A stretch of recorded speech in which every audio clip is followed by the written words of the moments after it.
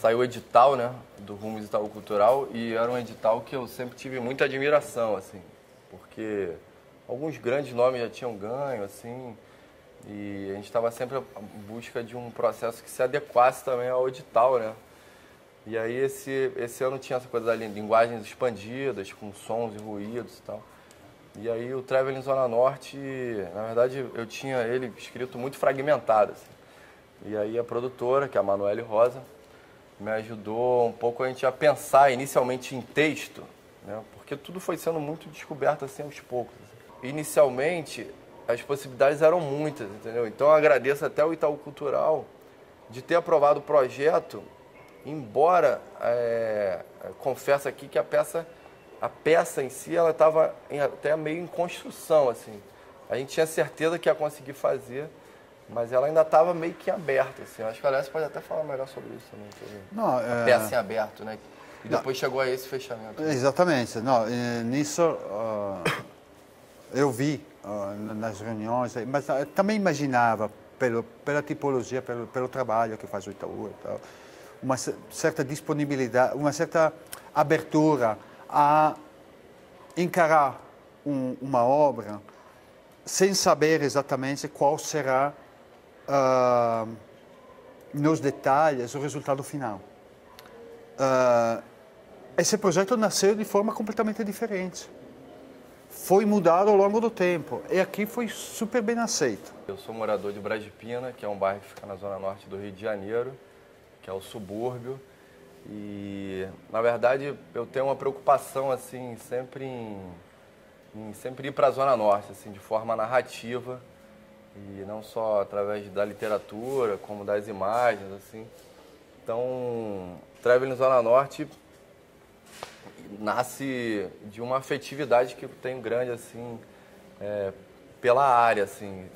E tem as coisas do subúrbio, né, que você é suburbano e tal, mas eu, eu cada ano que passava, assim, desde criança, fui tendo o contrário, assim, fui tendo muito orgulho de ser suburbano e, e fui descobrindo aos poucos, assim, é, o comportamento, o humor, o jeito de ser daquelas pessoas era foi sendo muito importante para mim e esteticamente também fui tendo uma, uma, uma descoberta assim diária da, da, daquele local assim então é, isso isso é uma parte afetiva assim com a zona norte né?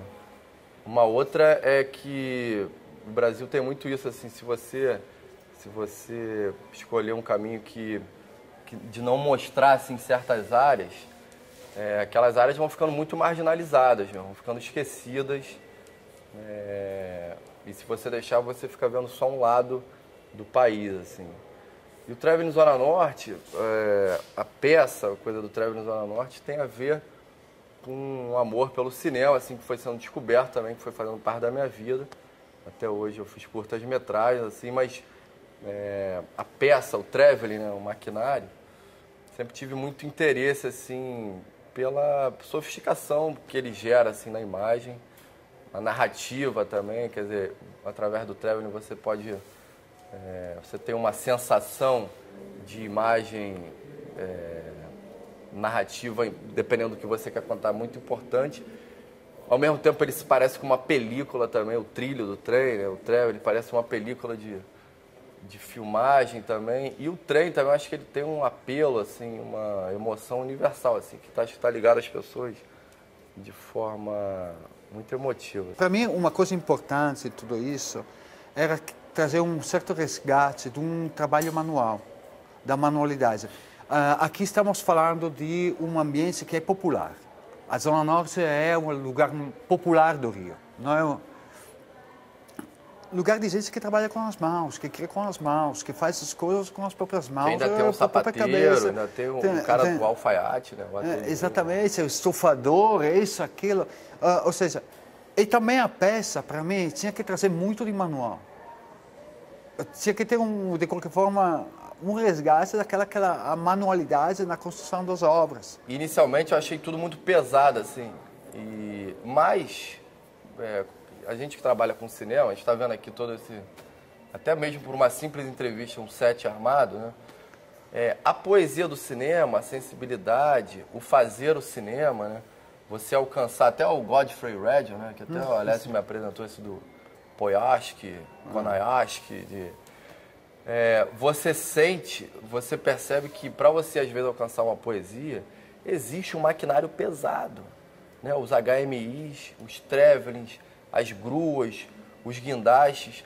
Por trás da poesia, o set de cinema, ele é pesado. A intenção da peça também era mostrar que, por mais que você fique viajandão nas imagens, no som, é, para quem está nos bastidores, e para os criadores, né, para as pessoas que criaram essa peça que vai gerar uma, uma extrema sensibilidade de poesia, é preciso que haja um peso.